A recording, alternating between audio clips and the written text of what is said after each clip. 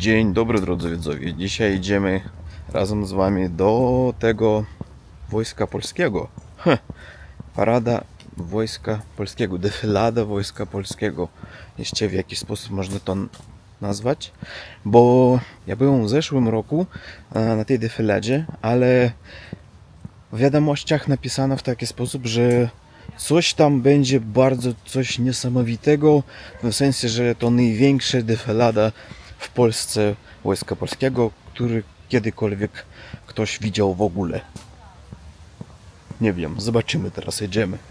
No i właśnie wyszedłem tutaj z e, stan, stacji metra Ars, Ratusz Arsenał. No i ludzie już idą, idą. Ja po prostu wiem takie miejsce, z którego wszystko można nagrywać i bardzo blisko będzie, żeby dla Was było ciekawe i po prostu mogliście zobaczyć w ogóle co się dzieje. E, ten ruch tych pojazdów. No i jeszcze taka ciekawostka, zaraz pokażę. Trzy miesiące temu przeprowadziłem się z jednego mieszkania do drugiego, no i mieszkałem przez zeszły, cały zeszły rok w tym mieszkaniu, tutaj na siódmym, na siódmym, na szóstym piętrze, piętrze, bo po rosyjsku to siódma, po polsku to szósta, no i tu mieszkałem jeden rok w centrum Warszawy, z takim widokiem jeszcze miałem e, widok z tego balkona na centrum miasta, na te wieżowce super taka dzielnica, ale e, zbyt, zbyt głośna e, z powodu, że tutaj ten tramwaj bardzo taki głośny. No ale tylko. A i jeszcze ten syreny. Wiu, wiu, różne takie e, policjanty i tak dalej. W, w pierwszej nocy, w drugiej nocy można to słyszeć. No i oczywiście ciężko. Ja przyszedłem e, wcześniej na 1,5 godziny, 1,5 godziny, żeby być bardzo blisko, ale patrzcie ile już tutaj ludzi. Bo ja chcę nagrywać dzisiaj maksymalnie blisko jak to tylko możliwe, bo ja wtedy e, w zeszłym roku nagrywałem i byłem, nie wiem, gdzieś tu stajałem i tripoda używałem dlatego, żeby pokazywać wszystko, ale sam w ogóle nic nie wiedziałem co się dzieje. Teraz chyba jeszcze dam rady Mam nadzieję.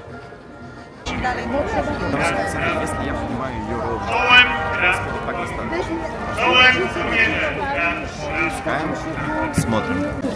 No i właśnie taką liczbę ma, ludzi mamy. Patrzcie. I jestem tu. Jakby drugi, ale chciałbym pierwszy, no. Tutaj już nie ma szans.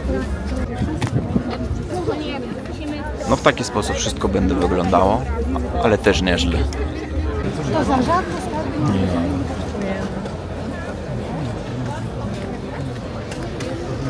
No i e, dokładnie chcę jeszcze powiedzieć, e, co w ogóle było. E, przyszedliśmy o 12.15.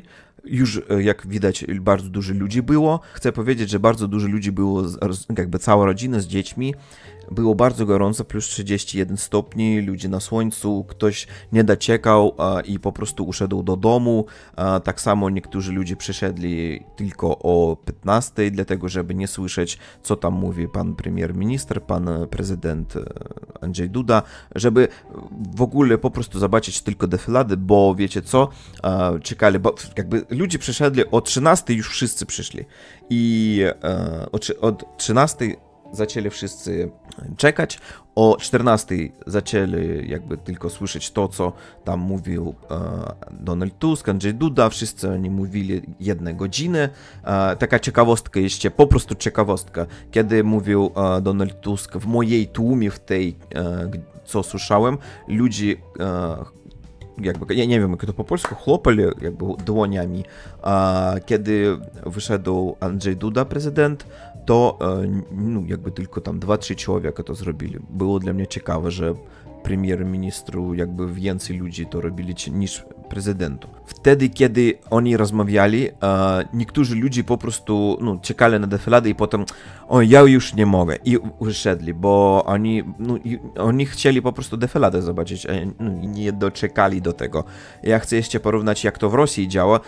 W Rosji, w Moskwie, bo tutaj w Warszawie, a w Moskwie nawet nie masz szansu, żeby zobaczyć tak blisko tej defilady, jak tu w Warszawie, bo nigdy żaden policjant albo ktoś e, no, nie da ci tej możliwości, bo to w taki sposób w Rosji mogą zobaczyć tylko ktoś tam, no, e, przyjaciel tego Putina. Nie ma możliwości po prostu, żeby ludzie w taki sposób mogli zobaczyć. Tutaj wszystko dla ludzi, można podejść jakby obok tego ogrodzenia, wstać i po prostu patrzeć na te defilady. To jakby dla ludzi to wszystko zrobione.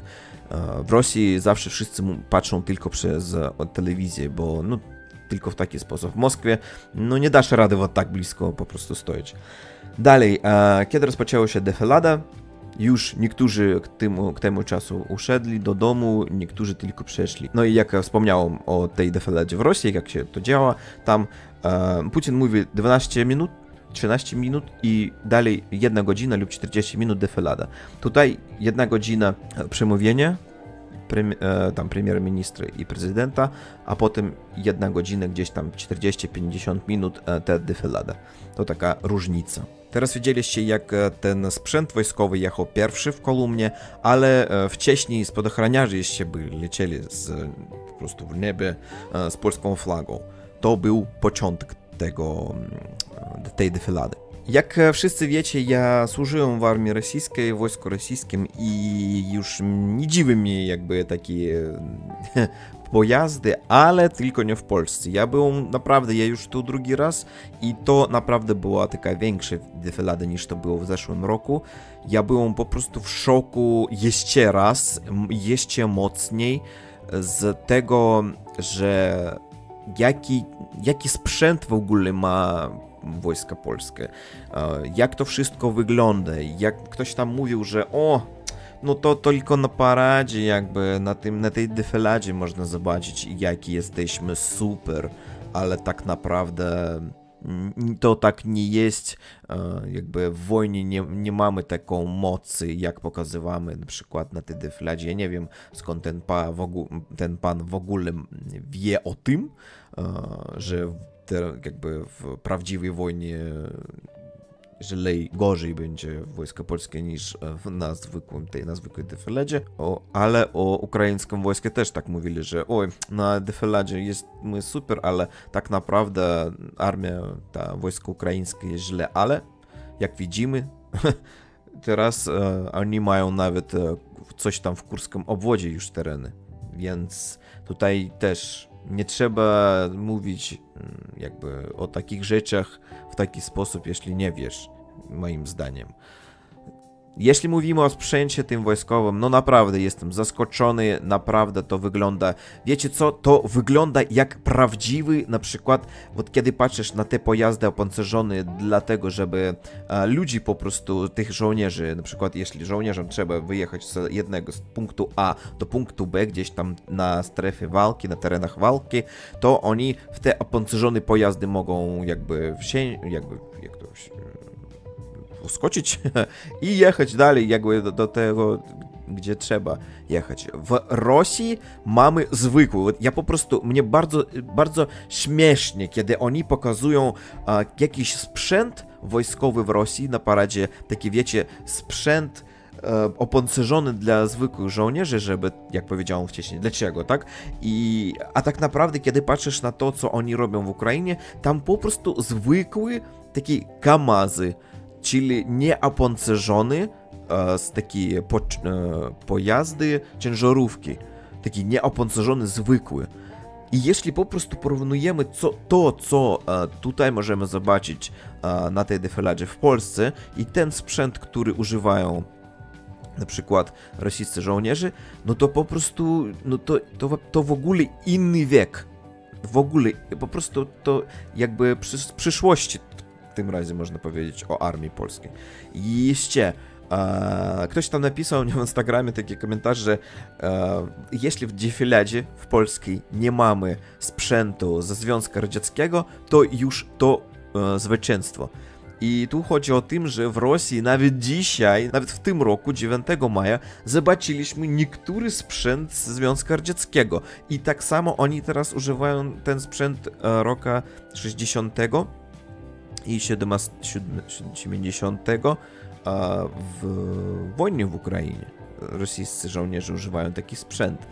I po prostu, no, to, no, i kiedy patrzysz na to, jaki sprzęt ma teraz e, wojska polskie, wiem, że tam niektórzy sprzęt, tam z, e, tam z Ameryki, na przykład tak samo tutaj jeszcze i można zobaczyć tych żołnierzy z amerykańską flagą, jakby nie tylko wojska polskie, jeszcze tak samo i Alians, tam NATO i tak dalej, ale kiedy patrzysz na ten sprzęt i patrzysz na to, co mają teraz e, w Rosji te rosyjscy żołnierze 9 maja na paradzie i tak samo na strefę walki, tych terenach walki w Ukrainie, no to ja nie wiem, a ktoś tam pyta jakby, a ktoś tam z rosyjskich tych mówił mi, że o, poczekajcie, jeszcze trochę będziemy w Polsce, a ja mówię, że no okej, okay, ale po pierwsze, no trzeba wam zdobyć, jakby wyzwolić tereny kurskie po pierwsze. I to dla was chyba jeszcze rok czy dwa trzeba, no dlatego, żeby to zrobić. I kiedy będziecie tutaj w Polsce, ja nie wiem, jaki sprzęt będę na was czekał w takim razie, bo jeśli dzisiaj ja patrzę na to, co, no patrzcie, jaki sprzęt teraz mają, co będzie za, za rok, dwa i kiedy w ogóle Rosja przejdzie swoimi tymi radzieckimi, tam nie wiem, sprzętem tym do Polski, jeśli oni w ogóle to chcą zrobić, to i, no, ja mam źle wiadomość dla tych rosyjskich żołnierzy, bo tutaj coś niesamowitego na nich będę czekać.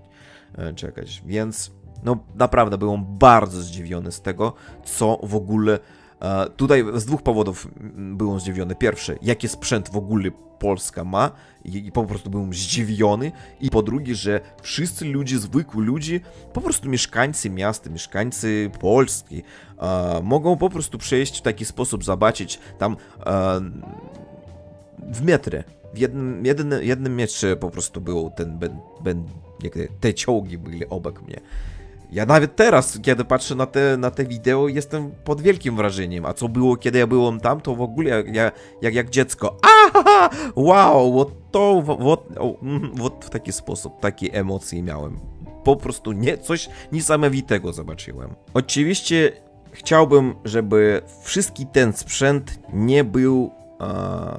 jak nie trzeba było go używać żeby wszystko było spokojnie, żeby ludzie mieszkali normalnie, bez żadnej wojny i żeby ten sprzęt po prostu stojał siebie i tyle, i nie był używany.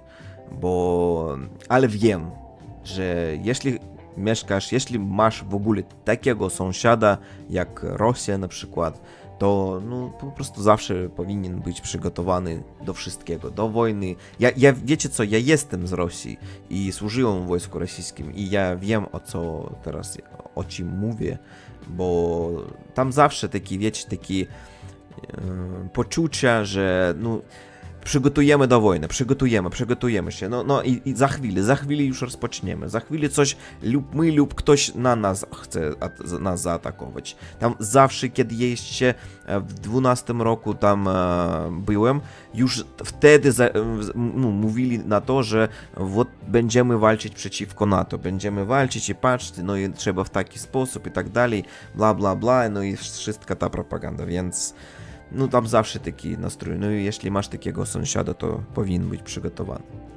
Cóż, dziękuję bardzo za obejrzenie tego odcinka, dziękuję bardzo za subskrypcję na mój Patronite i do, do widzenia. Mhm. Do zobaczenia w następnym. Pa!